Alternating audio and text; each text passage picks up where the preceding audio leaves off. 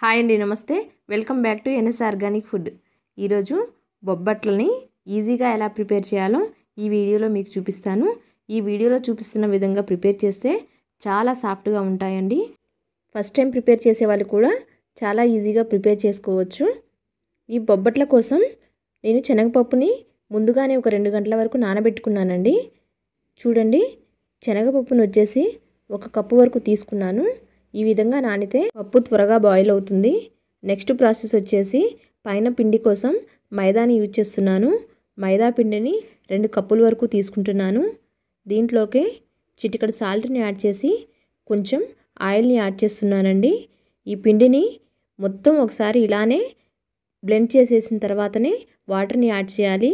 పిండిలోకి ఈ ఆయిల్ మొత్తం పట్టేయాలి. చూడండి నేను బ్లెండ్ చేసేసాను. ఇలా చేతికి అంటకూడదండి పిండి. నెక్స్ట్ ఈ పిండిని ఒకసారి పక్కన పెట్టేసి నెక్స్ట్ ప్రాసెస్ చూసేద్దాం. ముందుగా నానబెట్టిన పప్పుని కుక్కర్లో వేసి బాయిల్ చేశానండి. ఈ కన్సిస్టెన్సీ ఉండాలి మరీ మెత్తగా ఉన్న బొబ్బట్లు టేస్ట్ ఉండవండి.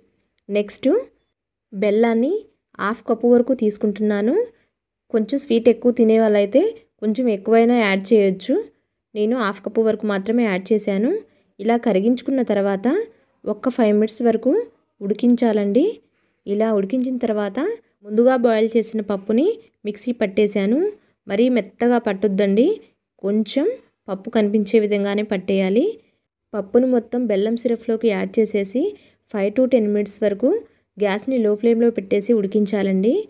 ఈ సిరప్ అంతా ఇంకిపోయి గట్టిగా అయ్యే వరకు ఇలా కలుపుకుంటూ ఉడికించుకోవాలి. లేకపోతే పప్పు అడుగున మాడుతుంది. అలాగే ఇలా కలుపుకుంటున్నప్పుడు పప్పు దగ్గరకు అయ్యేటప్పుడు కొంచెం నెయ్యిని యాడ్ చేస్తున్నాను. ఇలా యాడ్ చేస్తే అడుగు మాడదండి. నెక్స్ట్ కొంచెం యాలకుల పౌడర్ని కూడా యాడ్ చేసేసాను. దగ్గరకు అయ్యే వరకు ఇలానే కలిపేయాలి. వీడియోలో చూపిస్తున్న కన్సిస్టెన్సీ వచ్చే వరకు కలుపుకుంటే పూర్ణం చక్కగా ప్రిపేర్ అవుతుంది. నెక్స్ట్ ఒక బటర్ పేపర్ తీసుకొని కొంచెం ఆయిల్ని యాడ్ చేశాను.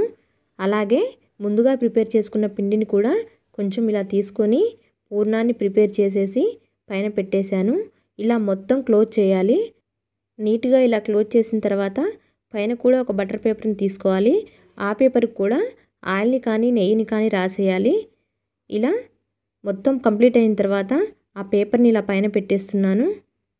నెక్స్ట్ చేతి వేళ్ళతో ఒకసారి ఇలా అదిమేసి చేతి వేళ్ళతోనే వెడల్పుగా ఇలా ప్రెస్ చేయాలండి. మరీ గట్టిగా ప్రెస్ చేయొద్దు.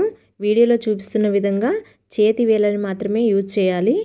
ఈ ప్రాసెస్ అంతా బటర్ పేపర్ లేకపోయినా ప్రిపేర్ చేయొచ్చండి.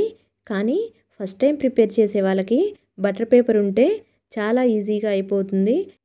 ఇలా ప్రిపేర్ చేసుకుంటే బొబ్బట్లు చాలా టేస్టీగా ఉంటాయండి. అలాగే వీటిని ప్యాన్ మీద వేడి చేసేటప్పుడు కూడా లోపల ఉన్న పిండి బయటికి రాకుండా చాలా ఈవెన్గా స్ప్రెడ్ అయిపోతుందండి. చూడండి ఎంత చక్కగా ప్రిపేర్ అయిపోయిందో. నెక్స్ట్ రిమైనింగ్ ఉన్న పిండిని కూడా ఇలానే ప్రిపేర్ చేసుకుంటూ ఒక ఐదారు వరకు ముందుగానే ప్రిపేర్ చేసి పక్కన పెట్టేసుకుంటే ప్యాన్ మీద వేడి చేసేటప్పుడు ఈజీగా అయిపోతుంది. ఇక్కడ నేను మైదా పిండిని యూజ్ చేస్తున్నాను కదా. మైదా పిండి ప్లేస్లో గోధుమ పిండిని యూజ్ చేసైనా బొబ్బట్లు ప్రిపేర్ చేయొచ్చండి. అలాగే లోపల పూర్ణంని శనగపప్పుతో ప్రిపేర్ చేశాను కదా. ఆ ప్లేస్లో పెసరపప్పుతో కానీ నువ్వులతో కానీ ప్రిపేర్ చేయొచ్చు. నెక్స్ట్ ఒక ప్యాన్ పెట్టేసి ఇలా కొంచెం నెయ్యిని యాడ్ చేయాలి. ఈ బొబ్బట్లని నెయ్యితో కాల్చుకుంటేనే చాలా టేస్టీగా ఉంటాయండి. ముందుగా ప్రిపేర్ చేసిన బొబ్బట్టుని బటర్ పేపర్తోనే ఇలా యాడ్ చేసేసాను. చేత్తో అయినా యాడ్ చేయొచ్చండి.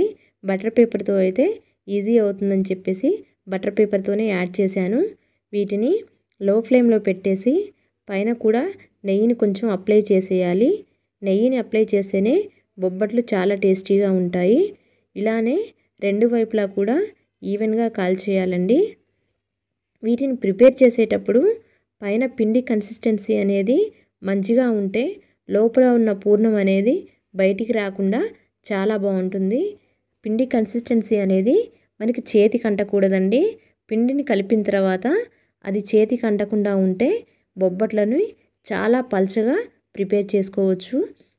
ఇక్కడ చూడండి ఇలా మంచి గోల్డెన్ బ్రౌన్ కలర్ వచ్చే వరకు బొబ్బట్టుని కాల్చుకుంటే చాలా టేస్టీగా ఉంటుంది. నెక్స్ట్ ఇంకొక బొబ్బట్టును కూడా ఇలానే యాడ్ చేశాను. ఈ వీడియోలో చూపిస్తున్న ప్రాసెస్తో కనుక ప్రిపేర్ చేసుకుంటే ఫస్ట్ టైం ప్రిపేర్ చేసే వాళ్ళకైనా ఎలాంటి కంగారు లేకుండా బొబ్బట్లని పర్ఫెక్ట్గా ప్రిపేర్ చేసుకోవచ్చండి. చూడండి ఇది కూడా ప్రిపేర్ అయిపోతుంది. వేరే వైపు టర్న్ చేసేసి పైన కొంచెం నెయ్యిని అప్లై చేసి ఇలా ప్రిపేర్ చేసేసాను. ఇలానే రిమైనింగ్ ఉన్న వాటిని అన్నిటినీ ప్రిపేర్ చేశాను. చూడండి ఎంత పలుచగా ఉన్నాయో. అలాగే ఇవి చాలా సాఫ్ట్గా కూడా ఉంటాయండి. మీరు కూడా ఒకసారి ఇలా ట్రై చేయండి. ఎలా ఉందో నాతో షేర్ చేసుకోవటం మాత్రం అస్సలు మర్చిపోవద్దండి. నెక్స్ట్ ఒకసారి ఈ బొబ్బట్టుని ఇలా ప్రెస్ చేసి చూపిస్తున్నాను చూడండి. ఎంత స్మూత్గా ఉందో. మీకే అర్థమవుతుంది. చాలా సాఫ్ట్గా ఉంటాయండి. ఇలా కనుక ప్రిపేర్ చేస్తే చూశారు కదండి నా వీడియో? నా వీడియో కనుక మీకు నచ్చినట్టయితే నా వీడియోని లైక్ చేయండి. అలాగే మీ ఫ్రెండ్స్కి షేర్ చేయండి. నా ఛానల్ని తప్పకుండా సబ్స్క్రైబ్ చేయండి. Thank you for watching.